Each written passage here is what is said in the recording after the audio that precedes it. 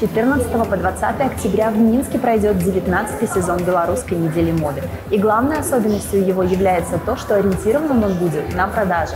Новая площадка как нельзя этому способствует. Мы приехали в Маяк Минска, в дом Микеланджело, для того, чтобы из первых уст узнать, чем будет жить белорусский fashion целую неделю.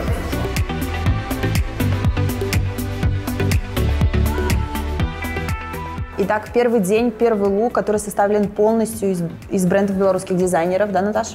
Да. Рассказывай, что на мне. Аня, сегодня на тебе джемпер от белорусского бренда Нельва. Очень красивый цвет. Чем он хорош? Он хорош тем, что рельефная вязка, которая актуальна угу. и добавляет характера любому трикотажному изделию.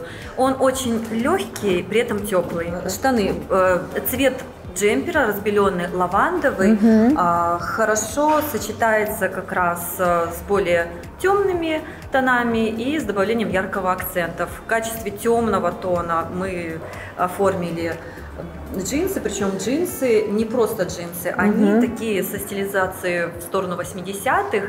Крой, Тоже модно сейчас, да? Да, то, что сейчас модно. Крой э, напоминает э, брюки-бананы угу. благодаря защипам и зауженному, зауженному силуэту к низу. А, при этом объем есть сверху, снизу, акцент на талии, объемы бояться не Кстати, надо. давай раскроем сейчас. секрет, да, вот этот яркий акцент, очень крутая сумка, она это от Галанте. Да. Та самая, которую наши потребители почему-то обходят стороной, выбирая э, более дорогие, да, э, зарубежные бренды. Но посмотри, какой, какой стиль, какая она крутая.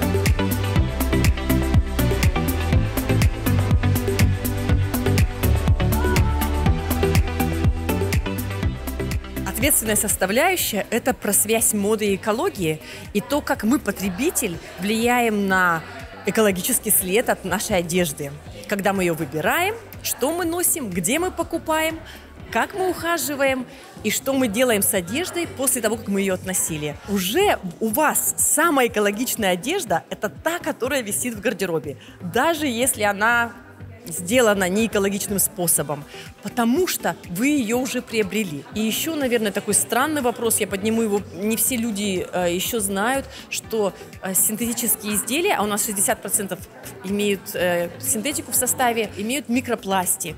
Микропластик – это невидимые частицы полимеров, которые не улавливаются сегодняшними фильтрами в машинках и даже в очистных сооружениях, Таким образом, они попадают, скажем так, в мировой океан, оттуда в цепочку потребления в нас.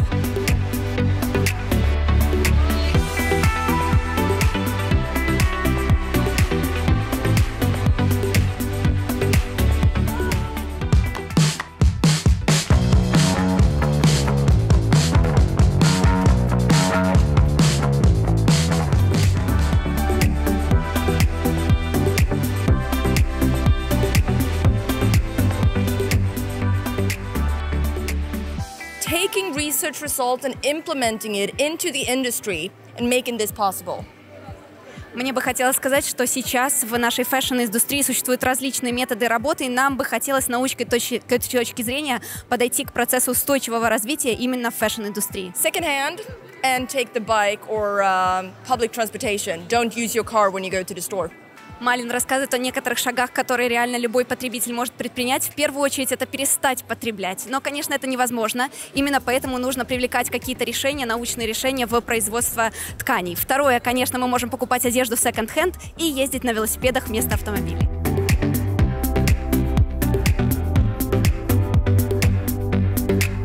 Нам очень нравится сотрудничать с Беларусь Fashion Week и Белорусской палатой моды, потому что они как раз пред, э, представляют платформу для новых идей, для презентации новых дизайнеров.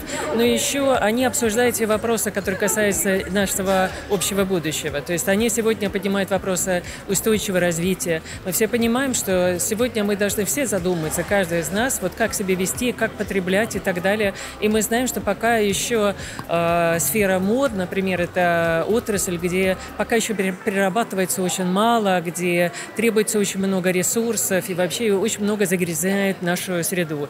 И поэтому я очень рада, что мы можем сотрудничать с палатой, потому что они как раз сегодня ставят э, вот эти вопросы выше всего.